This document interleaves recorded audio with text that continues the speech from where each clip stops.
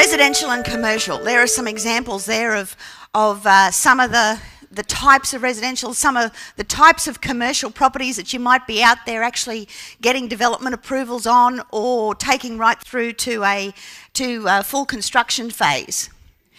Some of the commercial stuff there is, is quite specialised, I've indicated down the, down the bottom. You can see we're talking about things like um, you know, storage sheds, garages, uh, your medical, your childcare, motels, things like that.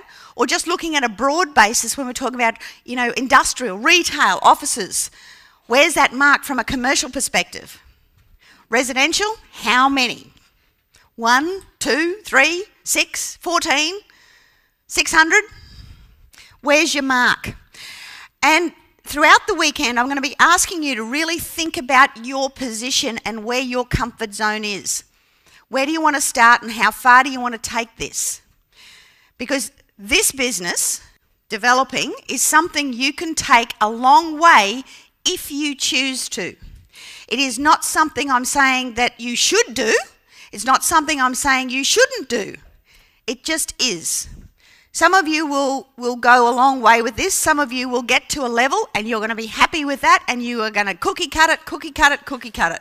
And you'll do it over and over again and that is your mark and you're going to be very happy with just what's going on there.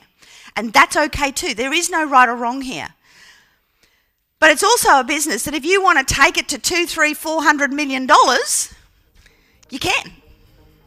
You're going to build there. You won't start there, but you can take it that far if you choose to and came across uh, a nice little block of 20 acres and uh, we explored the potential. It had a previous DA approved on it for 80 odd lots and uh, the council was very keen to renew that uh, DA with some minor modifications. Um, we've also got almost 50% of pre-sales done um, and just basically just chasing up those blocks to secure the rest of the pre-sales so that we can now create another stage.